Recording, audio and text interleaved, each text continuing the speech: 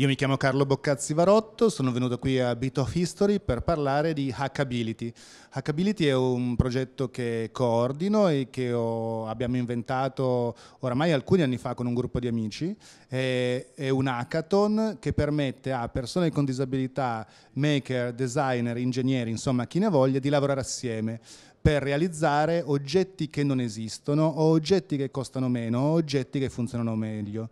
Eh, oggi questo è possibile grazie alle macchine di prototipizzazione leggera, alle schede open source, ad Arduino, Raspberry Pi, cioè realizzare qualcosa fortemente pensato sui bisogni eh, delle persone.